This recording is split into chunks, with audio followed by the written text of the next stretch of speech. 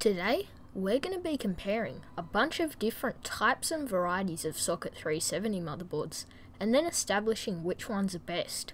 Let's get started.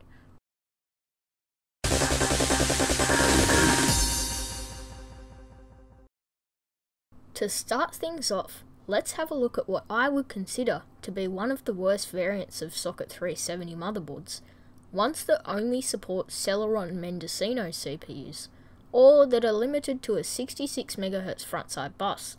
This limitation is normally because of the 440LX or VIA equivalent chipset these motherboards use. These are budget boards.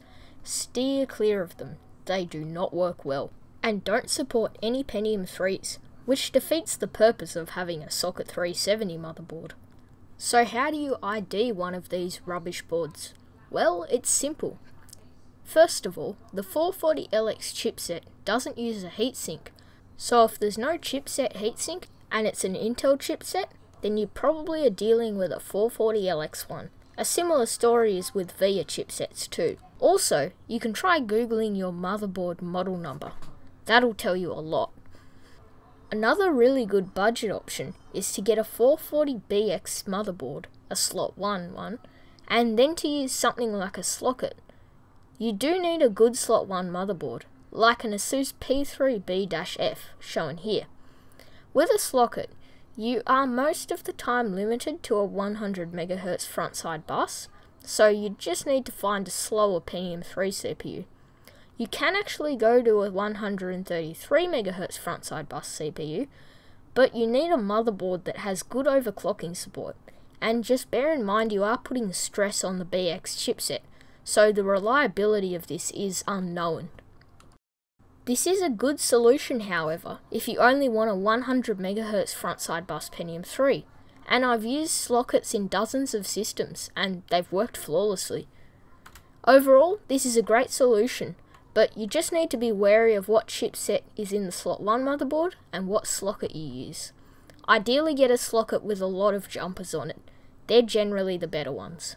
Now we get to what I would consider to be a real Socket 370 motherboard. One that supports Coppermine CPUs and has native 133 MHz frontside bus support. These boards of this generation commonly use VIA chipsets, though you can get higher end Intel ones. The VIA chipsets are fine though, they run great and they're fast. That's all you can want. The best way to ID these boards is to look for VIA logos on them, and also see if they're socket 370 and include common features like AGP. If it's got that, then most likely you'll have a VIA socket 370 board on your hands. These things are super good. They just work, and that's all they need to do. Native 133 MHz front side bus support too, which is important if you want to run higher end Pentium 3s. Speaking of which, these VIA boards can handle up to around a 1 GHz Pentium 3, which is more than fast enough.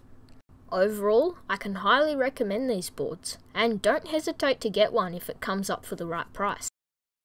Now we get into the high-end spectrum of things, namely motherboards using the Intel 815 chipset. These motherboards were generally manufactured post-2000 and were quite high-end since they were at the end of Socket 370's lifespan. Not only does the Intel 815 chipset have native support for 133 MHz frontside bus CPUs, but it also has support for Tualatin CPUs. Now, Tualatin support can be pretty hit and miss. Some motherboards will support Tualatin CPUs, some won't. This specific motherboard, the AOPEN AX3S, does not.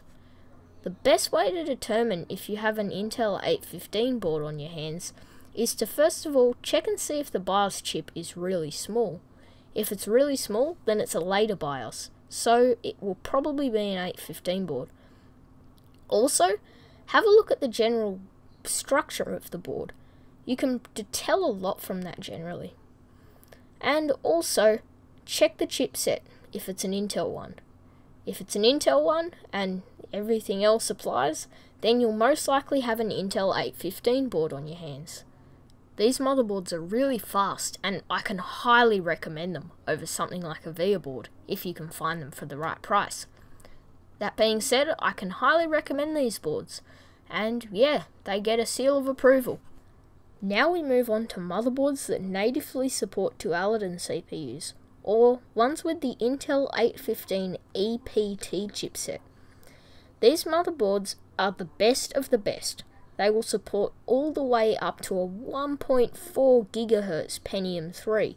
On Gigabyte motherboards of this generation, like the Gigabyte GA60 XT shown here, the socket is blue. Whenever you see a blue socket 370, it means that it's a universal socket, so it'll basically support any CPU that fits in it. These really high-end Socket 370 motherboards are really great, and they're just the best, to simply put it. Some of the key factors in determining whether you have a Tualatin motherboard on your hands is, first of all, whether or not it has a blue socket. It was only Gigabyte that did this, but still, a lot of Gigabyte motherboards were Tualatin ones, so it's worth noting. Also, if it has an Intel chipset, and other than that, your best bet is really just to Google the motherboard model number. Not a lot can be told on whether a motherboard will support a Tualatin CPU or not, just from looking at the board. Well, that's about it for this video. Hopefully I've helped you understand what are the good and bad Socket 370 motherboards. Anyway, that's about it from me and I'll see you next time.